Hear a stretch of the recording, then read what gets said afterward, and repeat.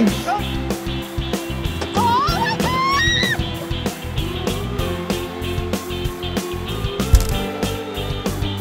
Liebe Caro, warum hast du, warum hast du jetzt andere Schuhe an, Mann? Ich wollte aber mal moderieren.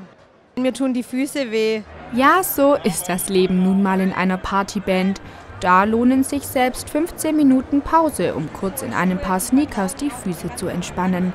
Fast vier Stunden Auftritt hat die Partyband Just for Fun an diesem Nachmittag auf dem Cannstatter Volksfest bereits hinter sich. Die kurze Pause nutze ich für einen Blick in den Backstage-Bereich. Oh, klein, aber fein. Oder auch nicht. Da es noch kein Geruchsfernsehen gibt, mache ich es kurz und knapp. Hier gibt's die volle Dröhnung Hähnchengeruch. Kann ich überhaupt noch einen Gockel essen?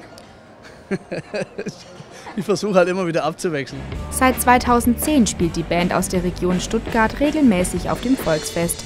Für die sieben Hobbymusiker, wie sie selbst sagen, ein richtig geiles Gefühl. Auch wenn das Zelt nachmittags nicht voll ist.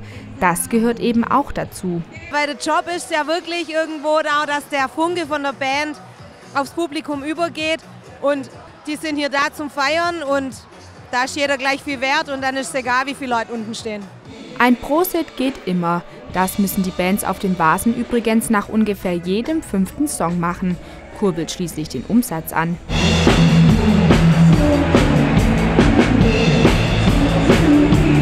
Und was für skurrile Geschichten erlebt man so auf dem Cannstatter Volksfest? Wir haben abends gespielt, waren dann fertig, sind dann nach dem Auftritt zum Parkplatz gelaufen und da war ein Pärchen, das hatte gnadenlos Sex.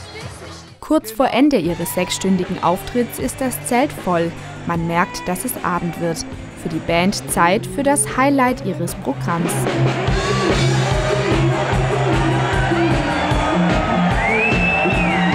Wohl klar, dass ich jetzt wissen will, wie Ralf diesen Schleudergang aushält. Es ist die Gewohnheitssache, aber man darf nichts essen vorher und nichts trinken.